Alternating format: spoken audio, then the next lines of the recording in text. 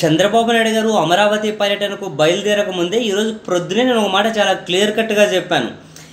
ఈ ఓవరాల్ పరిణామాలను కనుక గమనిస్తున్నట్లయితే ఇదేదో అమరావతి మీద చర్చ కోసం ఉన్నట్లు లేదు పూర్తిగా ఇది అమరావతి మీద రచ్చ కోసమే ఉన్నట్లు అనిపిస్తోంది అని నేను ప్రొద్దునే చెప్పాను. నేను చెప్పిన గంట రెండు గంటల తిరగకముందే చాలా ఈజీగానే చాలా క్లియర్ కట్గానే అందరికీ అర్థమైంది. ఇది చర్చ కోసం కాదు రచ్చ కోసం పరమ రొచ్చు కోసము అని.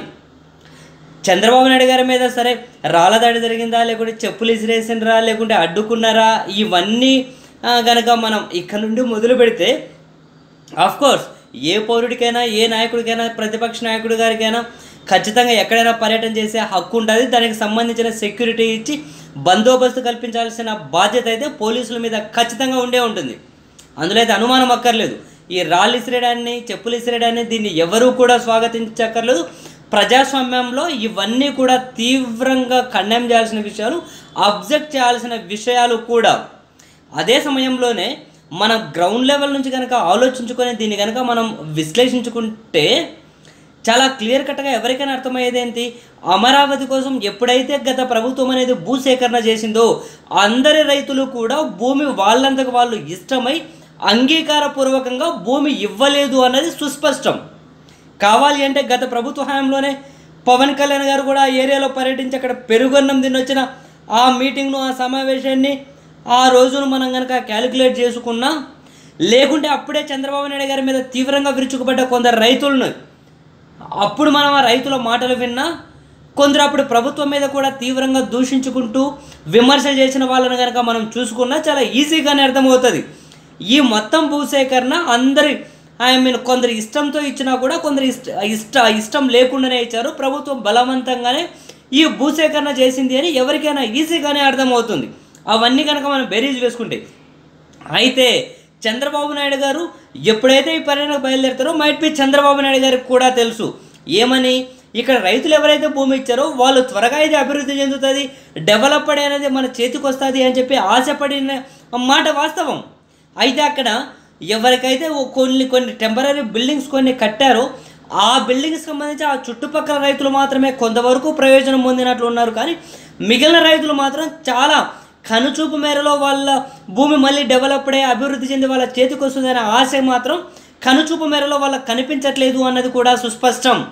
అయితే ఇటువంటి వాళ్ళు బలవంతంగా గత ప్రభుత్వం భూమి లాక్కున్నప్పుడు బాధపడ్డ వాళ్ళు ఇప్పుడే మనకు అభివృద్ధి మన భూమి చెందదు అని చెప్పి బాధపడే వాళ్ళు అసలు అమరావతి ఉంటుందా లేదా అని బాధపడే వాళ్ళు అమరావతి మహానగరంగా నిర్మితం అవుతుందా మన ల్యాండ్కి మన స్థలాలకి ఇంకా ఫుల్ రేట్లు వస్తాయా మన చేతులకి ఎప్పుడు వస్తుంది? ఈ డెవలప్డ్ సైట్ అని ఆలోచించి వీళ్ళందరికీ కూడా చంద్రబాబు నాయుడు గారి మీద తీవ్ర వ్యతిరేకత ఉంది అన్నది కూడా వాస్తవమే. ఇదే సమయంలో ఇక్కడ రైతులు రెండు భాగాలుగా డివైడ్ అయిపోయారు. ఒకరు చంద్రబాబు నాయుడు గారికి అనుకూలంగా ఉన్న వాళ్ళు రెండు చంద్రబాబు నాయుడు గారిని వ్యతిరేకించే వాళ్ళు. ఆఫ్ కోర్స్ రైతులు కూడా పార్టీల పరంగా విడిపోయారు అన్న విషయాన్ని నేను ప్రొద్దునే చెప్పాను. మనం ఇంతకు ముందు కూడా చాలాసార్లు మనం చూసాం కూడా. అయితే ఇవన్నీ బెరీస్ వేసుకొని నిరసన వ్యక్తం చేస్తారు అన్న విషయం ఇంక్లూడింగ్ చంద్రబాబు నాయుడు గారికి. చంద్రబాబు నాయుడు గారి పర్యటనను మంచి స్క్రిప్ట్ ప్రకారం ఎగ్జిక్యూట్ చేసుకొని డిజైన్ చేసినటువంటి కొన్ని మీడియా సంస్థలకి కూడా తెలుసు. ఈ నిరసన వ్యక్తం అవుతుంది అని చెప్పి. ఈ నిరసన వ్యక్తం అవుతుంది అని తెలిసిన తరువాత ఇది కనుక తీవ్ర రూపం దాలిస్తే అది ఇటువంటిది. ఒకటి ఇక్కడ మనం ఇంకా ఇంట్రెస్టింగ్ ఏంటి అని అంటే ఈ చెప్పులు ఎవరు వేశారు రాళ్ళు ఎవరేశారు అన్న విషయాన్ని వాళ్ళని ఖచ్చితంగా బయట పెట్టాల్సిన బాధ్యత ప్రభుత్వం మీద ఉంది. ఎందుకు అనంటే ఇది ఈ చంద్రబాబు నాయుడు పర్యటన ఇంకా రచ్చ చేసి రొచ్చు చేసి ప్రభుత్వానికి ఏమైనా చెడ్డ పేరు తీసుకురావాలని చెప్పేసి ఈ పర్యటనకు డిజైన్ చేసినటువంటి వ్యక్తులే దీన్ని ఏమైనా ప్లాన్ చేశారా? లేకపోతే చంద్రబాబు నాయుడు గారి మీద తీవ్ర కోపంతోటో ఆవే ఐ మీన్ వ్యతిరేకతతోటో ఉన్న వ్యక్తులు ఏమైనా ఆవేశంలో ఇసిరేశారా? అసలు ఇదంతా ఏం జరిగింది అనేది చాలా ఇంపార్టెంట్. ఎందుకు అని అంటే ప్రభుత్వం అనేది ఖచ్చితంగా ఒక ప్రతిపక్ష నాయకుడి గారికి ఆయన పర్యటన ఖచ్చితంగా భద్రత ఇవ్వాలి ఆయన పర్యటన సక్రమంగా జరిగేటట్లు చేసి తీరాల్సిందే. మరి ఆ ఏర్పాట్లు పోలీసులు ఎందుకు చేయలేకపోయారు? ఆయనకు వ్యతిరేకంగా అడ్డుకొని లేకుంటే బస్సు మీద రాళ్ళు చెప్పులు పడేంత వరకు ఇలా అసలు ఇది ఆవేశంలో జరిగిందా? లేకుంటే ప్రీ డిఫైన్డా ప్రీ స్క్రిప్టా చూడాలి. ఎందుకనంటే ఒకవేళ ప్రభుత్వమా లేకుంటే ప్రభుత్వాన్ని నడుపుతున్న వైఎస్ఆర్ కాంగ్రెస్ పార్టీ శ్రేణులు కానీ ఈ పనికి తెగబడి ఉంటే ఈ పని కనుక వాళ్ళు చేసి ఉండింటే నాకు తెలిసి వాళ్ళకు అనుకూరే ప్రయోజనం శూన్యం. ఎందుకంటే ఫస్ట్ దీన్ని చంద్రబాబు నాయుడు గారు రాజకీయంగా వాడుకుంటారు అని తెలియని అమాయకులు కాకపోవచ్చు వీళ్ళు. ఆ రెండు చంద్రబాబు నాయుడు గారి మీద ఇలా దాడి జరిగిందంటే అది ప్రభుత్వ వైఫల్యం అవుతుంది అని చెప్పి తెలుసుకోలేని అమాయకులు కాకపోవచ్చు వీళ్ళు. వీరన్నిటికంటే మించి కూడా మూడు. ఇప్పటికే ప్రభుత్వం మీద ప్రతిపక్షాలు కానీ ఇంకోవైపు ఒక ఇంకోవైపు మీడియా కానీ ఒక ఒక టైప్ ఆఫ్ మీడియా ఒక ఒక పార్ట్ కొన్ని ప్రతిపక్షాలు కొమ్ము కాసే మీడియాలు కానీ అంటే ఒక వర్గం మీడియా.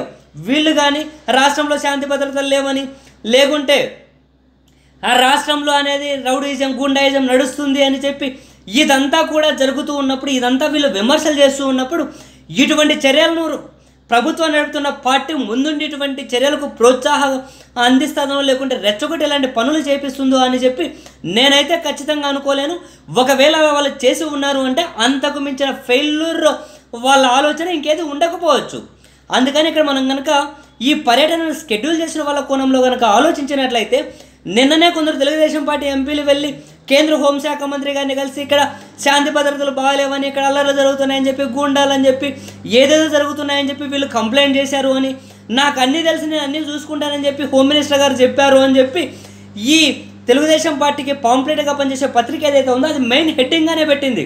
సో దానికి కొనసాగింపుగా ఏమైనా ఈ పర్యటనలో ఇంకేమైనా అల్లర్లు జరిగి ఇంకేమైనా ఇటువంటివి జరిగితే దీన్ని కూడా ప్రభుత్వం ఆయన మీద వ్యతిరేకంగా లేకుంటే దీన్ని కూడా ప్రభుత్వానికి చెడ్డ పేరు వచ్చే విధంగా మనం రిప్రజెంట్ చేయొచ్చు ఢిల్లీ లెవెల్లో అని చెప్పి వీళ్ళు ఏమైనా దీన్ని స్క్రిప్ట్ని డిజైన్ చేసిన వాళ్ళు ఆలోచించి ఉంటారా అని అంటే మైట్ బి అది కూడా నిజమే కావచ్చు.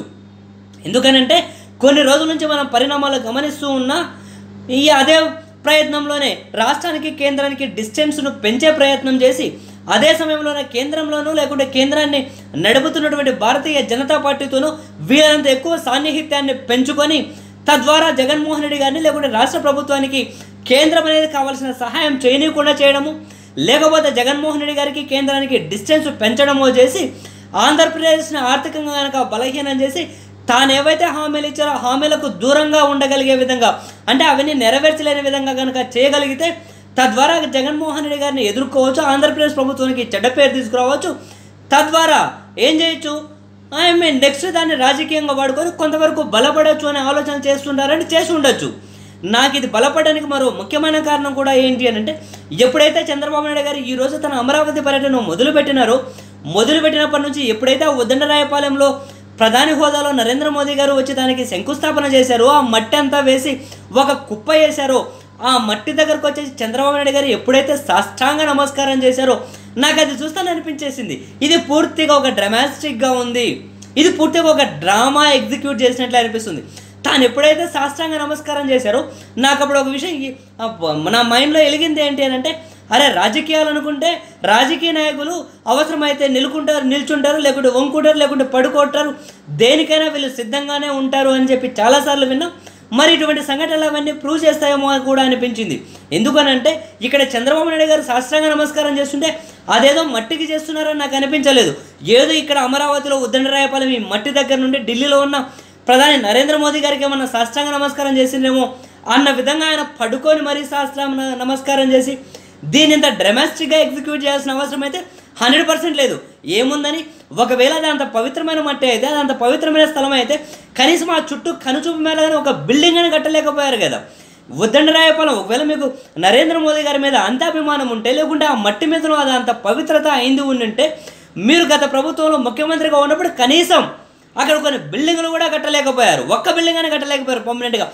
ఆ మట్టి ఉన్న ప్రదేశంలో కూడా మరి ఈ రోజు వెళ్ళేసి ఆ మట్టి దగ్గర పెద్ద డెమాస్ట్రిక్ వేసేసి మీకు వందబడి మీడియా నిల్చొని ఉంచొని పండుకున్న ఆ ఫోటోలన్నీ కనుక పబ్లిష్ చేసేసుకొని ఇదంతా కనుక చూస్తే దీన్ని ఒక రాజకీయంగా వాడుకోవడం కోసం వీళ్ళు ఎంత స్పష్టంగా ఒక స్క్రిప్ట్ రైజ్ చేశారో అన్న విషయం అయితే మనకు ఈజీగానే అర్థమవుతుంది. ఏది ఏమైనా దీన్ని నేను ప్రొద్దునగానే చెప్పినట్టు రచ్చగా ఇంకో రొచ్చు ఎలా చేశారో అన్నది సాయంత్రానికి చంద్రబాబు నాయుడు గారు మళ్ళీ ప్రెస్ మీట్ పెట్టి అప్పుడు మాట్లాడే కొన్ని వ్యాఖ్యలు వ్యాఖ్యానాలు కనుక చూస్తే చాలా ఈజీగానే అర్థమవుతుంది. If my imagination is right if my estimation is right నా ఊహ లేకుండా నేను నేను అనుకుంటున్నది కనుక కరెక్ట్ అయితే చంద్రబాబు నాయుడు గారు రెండు మూడు పదాలు లేకుండా ప్రెస్ మీట్ మాత్రం ముగించరు. అందులో స్పష్టంగా ఇదేమైనా పులివెందుల రౌడీలు వచ్చారు పులివెందుల గుండాలు వచ్చారు పులివెందుల ఫ్యాక్షనిస్టులు వచ్చారు వాళ్ళు వచ్చి నా మీద రాళ్ళ దాడి చేశారు వాళ్ళు నా మీద వచ్చి దాడి చేసే ప్రయత్నం చేశారు. మొత్తం పులివెందుల రౌడీ ఫ్యాక్షన్ వీళ్ళు రాష్ట్రం మొత్తం ఐ మీన్ తీసుకెళ్ళే ప్రయత్నం చేస్తున్నారు. మేము అడ్డుకుంటాం. అమరావతిలో ఆ రాజకీయాలు మేము నడవనివ్వం. ఈ పదాలు వాడేసి దీన్ని రాజకీయంగా ఎంతైతే వాడుకోవాలో అంతవరకు వీళ్ళు వాడుకుంటారు. నెక్స్ట్ ఈ సీన్లు ఈ ఫోటోలు ఈ సీన్ ఆఫ్ ఎఫెన్స్లో ఏమేమైతే ఉన్నాయో ఇవన్నీ తీసుకెళ్ళి ఇన్క్లూడింగ్ శాస్త్రాంగ నమస్కారం చేసిన ఇవన్నీ తీసుకెళ్ళి వీళ్ళు ఢిల్లీలో మళ్ళీ వెళ్ళి అక్కడ ఉన్న పెద్దలను కలవడం గ్యారంటీ కలిసి దీని మీద కావాలి ఇంకా కొన్ని రోజుల పాటు కావలసినంత రచ్చ చేసి రొచ్చు చేయడం మాత్రం ఖచ్చితంగా గ్యారంటీ సో ఏది ఏమైనా ఇప్పుడు ప్రభుత్వం చేయాల్సిన కనీస బాధ్యత ప్రభుత్వం యొక్క కనీస కర్తవ్యం ఏంటి అని అంటే చంద్రబాబు నాయుడు గారి మీద ఎవరైనా ఎవరైతే నిరసన వ్యక్తం చేశారో ఎవరైతే రాళ్ళు విసిరేశారో ఎవరైతే చెప్పులు విసిరేశారో వాళ్ళ డీటెయిల్స్ వాళ్ళ వివరాలు వాళ్ళు ఎక్కడి వాళ్ళు ఎందుకు విసిరేయాల్సి వచ్చింది వాళ్ళు ఎందుకు విసిరేశారు దాని వెనక ఉన్న కారణాలు ఏంటన్న విషయాలు ఖచ్చితంగా బయటకు ఈ ఆంధ్రప్రదేశ్ ప్రజలకు చెప్పి తీరాల్సిందే. అలా చెప్పినప్పుడే దీని వెనకల ఏ డ్రామా జరిగింది దీని వెనక ఎటువంటి స్క్రిప్ట్ ఎగ్జిక్యూట్ జరిగింది ఇది పర్యటనను మొదలుపెట్టి ఈ పర్యటన డిజైన్ చేసిన వ్యక్తుల యొక్క స్క్రిప్టా లేకపోతే ప్రభుత్వం ఏమన్నా వైఫల్యం చెందిందా? ప్రతిపక్ష నాయకుడు గారికి ఐ మీన్ సెక్యూరిటీ ఏ విషయంలో? లేకపోతే రైతులకు అప్పటికప్పుడు ఐ మీన్ ఉవ్వెత్తున వచ్చినటువంటి ఒక ఆవేశం ఒక వ్యతిరేకత అనేది వాళ్ళ చేతిలో ఉన్న ఆబ్జెక్ట్స్ అనేది బయటకు రిలీజ్ చేసి దాడి చేసే ప్రయత్నానికి పూనుకున్నాయా? ఈ విషయాలు వీలైనంత త్వరగా ప్రభుత్వం కనుక సమాధానం చెప్పకపోతే ఇది ఎంత కావాల్సింటే అంత రచ్చ చేసి ఈ తెలుగు ఐదు కోట్ల మంది ఆంధ్రప్రదేశ్ ప్రజలకు మరింత బొప్పి కట్టించే ప్రయత్నాలు చేయడం మాత్రం చాలా స్పష్టం. సుస్పష్టం కూడా For more videos, please subscribe Yuva TV.